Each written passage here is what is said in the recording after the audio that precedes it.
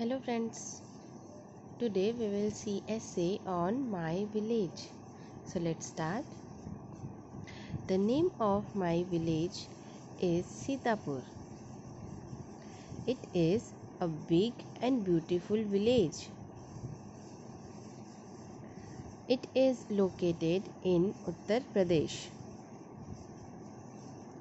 There is a Durga temple in our village and it is very famous temple. The village plays an important role in our daily life. I love my village because the people of the village are friendlier than the people of cities. Also, the people living in villages are more healthier,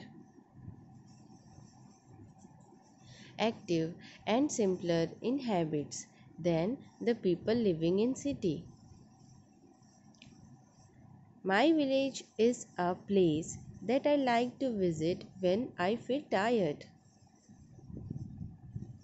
I have various memories attached to my village and it is very important memory for me. Everyone loves their village because it plays an important role in their life. So friends, if you like my video then hit like and please do subscribe my channel. Thank you for watching my video. Thank you.